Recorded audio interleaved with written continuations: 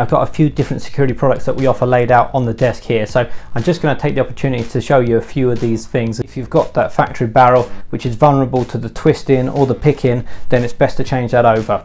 It's a type of deadlock which we fit to a lot of vans. Someone gets past your factory security, the doors open just a little bit and then they're stopped by the dead. We're looking now at higher levels of destruction. Sometimes it's like this with the long throw bolt on the side doors, sometimes it's the hook type of bolt and what we can do actually on some vehicles is put them up high now, so helpful in terms of that door folding. That's a large surface mounted lock that can go on the door. Sometimes it has to go low down on the door and sometimes we can put it up high. This one is the Armaplate stronghold lock, very similar to the Locks for Vans Ultimate Lock. If you had your catalytic converter stolen, that would be a massive inconvenience for you and it's probably really expensive. This ECU shield would be from a Mercedes Sprinter. The, the OBD pull, the, the fees can use it to code keys. Trackers, pedal boxes, alarm system, it might be that it will work with your original remote control or it might be that we supply an extra remote control for the alarm.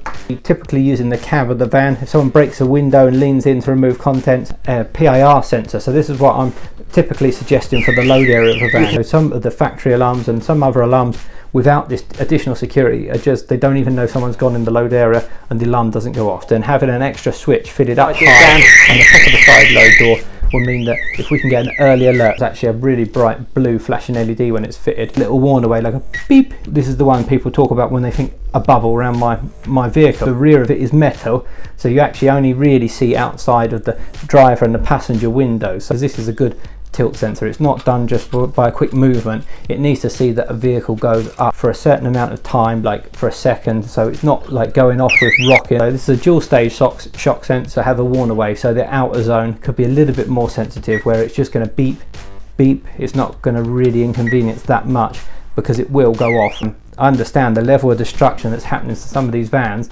yeah, maybe we've got to accept that there's going to be a little bit of nuisance noise and by having this type of detector fitted. Get in touch via the website, it's www.sussexinstallations.co.uk